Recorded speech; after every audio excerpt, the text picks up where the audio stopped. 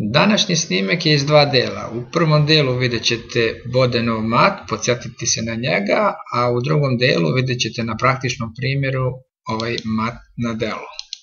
Inače, karakteristično za ovaj mat je da je to mat sa dva lovca koji ukršteno napadaju kralja i on nosi ime po Samuelu Bodenu, čuvenom engleskom profesionalnom šahisti. Ovdje vidite belog lovca koji napada kralja, a sa druge strane crnog koji zatvara sva crna polja i to je Bodenov mat.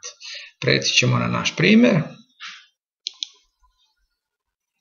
U ovom primjeru Bel igra pešaka f4, čuveno potez za Birdovo šahovsko otvaranje, na što je crni odgovorio e5 i ovo otvaranje se pretvorilo u Fromov gambit, posle čega crni žrtvuje i drugog pešaka, ne bili razvio lovca.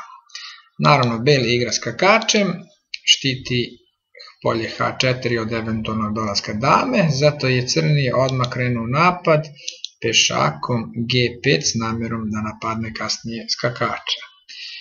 Beli igra D4, silazi pešak na G4 i naravno skakač ide na G5, on je trenutno podržan od strane lovca. Šta se dalje dešava? Crni odluče da igra F5, podržava svog pešaka, Beli igra E4 i nakon toga crni odlučuje da udvostruči pritisak na skakača. Skakač ide na koje polje, šta mislite? On se vraća na H3. Ovaj potez je interesantan po tome što je naravno crni prihvatio i uzo, ali otvorio ujedno put dami koja dolazi na H5 i ovog puta daje šah. U ovoj poziciji kralj se odlučio da ide na polje F8, posle dolaska lovca na C4 i ponovne opasnosti od mata, crni odlučio da igra damom E8, ne bi li zaštitio to polje. Šta mislite, šta je bio presudan i pobednički potez u ovoj partiji? Šta biste vi igrali da ste beli? Ako se sećate našeg primjera bodenog mata, od malo pre. Pa naravno, svi koji su videli, dama H6 daje šah.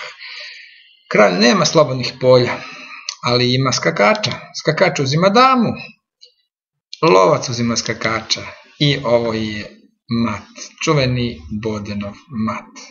Nadam se da vam se svideo, nadam se da ste ga upamtili i svakako nadam se da će vam biti i od koristi. Hvala i doviđenja.